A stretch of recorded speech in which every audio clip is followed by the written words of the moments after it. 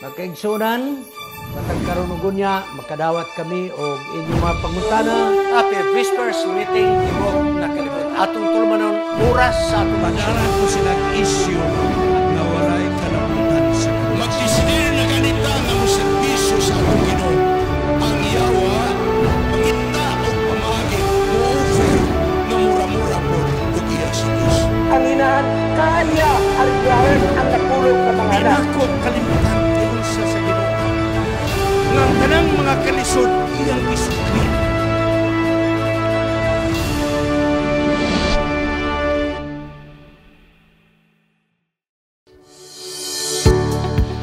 Ayaw kalimot. Kung gusto ka mo mo suportar sa atong ACS Media Ministry, pagkuha mo og kopya nini. The Preacher. Biographical, inspirational, and motivational. Kuha mo ni ini nga kopya. Garantiya, iuli ang kwarta kung di mo makaangay. Pero kung mag-uli mo sa kwarta, kamo yung personal mo aris kagayan di Oro City. Di ko gusto nga ipadala ninyo sa courier, kamo yun ang mo rin. So, seryoso nga paagi. Di mo magmahay sa pagbato ni nga libro. Makita nimo ang kamot sa Dios nga nagagiya siyang anak. Ug ang usa-usab nga paagi. Nga kamo usab makasuportar sa atong media ministry pagkuha sa mo ni ining Happy Family DVD. DVD. Nga kini aron inyong masabtan at kung gisumpay ang doktrina sa matag isyo sa family. So kini mga kaigsunan, 18 ka family problems, 18 ka family issues, ug kada family issue gisumpayan ug muhaom nga doktrina. So niya ay 18 ka doktrina usab mga kaigsunan. Ug ang sunod mga kaigsunan, aron do na mo'y compilation kanang wa mo'y access sa YouTube. DVD na lang.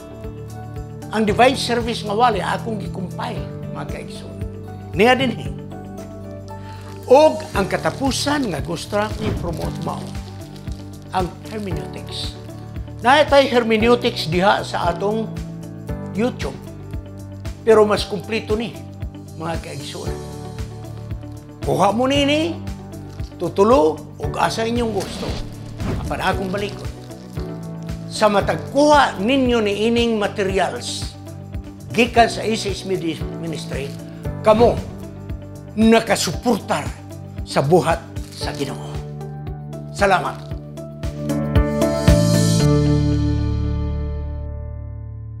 Happy Whispers meeting sa Tibok Kalibutan.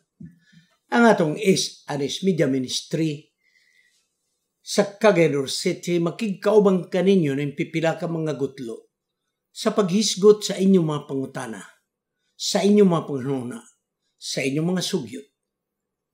Salamat sa inyong pagpadala sa inyong mga pangutana nga atong gihatagan og pagtagad. Sa pagsugod, magampo kita. O Diyos, may abot na ang among tulumanon dugang katinawan. Hatagi kami og dugang katinawan aron among masabtan ang imong plano alang kanamo. May mga butang nga usahay maglisod kami paghimo og desisyon. Apan kung balang espiritu magagiya kanamo, sigurado nga ang kadaugan maay mo mangkon. Aniya usayb ka anak nga nagdala og problema. Tabangan mo siya nga makahay mo siya og desisyon pabor kanimo. Kining tanan among pagdawaton sa ngalan ni Jesus manluluwas. Amen. Mga kaigsunan, matag karon og unya, ikaw ug ako, mabutang ta sa sitwasyon nga gitawag natog alanganin. Maglisod bitaw ta kung ato ning buhaton naay masubo. Kung ato po ning buhaton napoy laing masubo. Unsa may atong himon ni. Sunay mga panahon igsoon nga mabot ang atong kinabuhi sa usa ka sitwasyon nga maglibog ta ug unsay atong pagabuhaton. Mo nga na pangutana sa usa na to ka mga tigsubaybay. Matud pa niya, Pastor. Ako bang tumanon ang hangyo sa akong amo nga lalaki aron lang pagsalbar sa ilang kaminyoon. Bugat kini nga pangutana. Niyay hangyo sa akong agalon nga lalaki. Nagkagubot sila sa usa ka isyu. Busado na'y hangyo og nagingon ang lalaki ang bana. Kung imo kining ang kunon, masalbar ang among kabinyoon. Unsa di ay ang maong hangyo. Aniya, matud pa niya, ako usa ka Adventista. Nga nag-alagad ingon nga usa ka kasambahay. Nga nga akong mga aga, akong agalon magtiayon mga maayo kayo gyud. Mayo ang akong sweldo, tagbaw ako, kontento ako sa sweldo. Nga mga maayo sila modala ka nako. Apan dunay hangyo igsuon sa bana. Tungod kay ang akong amo nga babae ang asawa. Nakakita og plastic nga botilya sa tubig, kanang bottled water. Nga ang label or ang tatak usa sa mga hotel sa ilang syudad nga gipuyan. Akong balikon. Ang asawa nakasapon sa plastic bottle sa tubig nga ang label or ang tatak pangalan sa hotel sa syudad nga ilang gipuyan. Busa ang asawa mga kaigsunan. Dako ang iyang pagduda. Nganong nakadala man ni og botilya sa tubig, no, plastic sa tubig. Na hotel ang label sa mong botilya. So niadto gyud ning akong bana dito sa hotel. O sa may tuyo. Kaya siyempre, nagdala og laing babae. Mao na igsoon ang problema. Apan ang mga bana mga kaigsunan, nangita og diskarte. Og matod pa niya, nga kanang butilya, dili na ako sa aton ang kasambahay. Ambot, tingali nakigtagbo sa iyang mga higala or unsa, mga kababayan, kay murag tuan ni sila sa gawa sa nasod sa akong tanaw, no? I'm not very sure.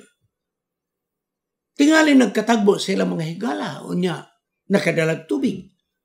Sa ato ng kasambahay, dili na ako. Ang kasambahay wa makahibalo nga mao na ang diskarte sa bana. Bus sa mga kaigsunan, ang bana, ang iyang agalon, miduol ni ining kasambahay nga membro nato simbahan.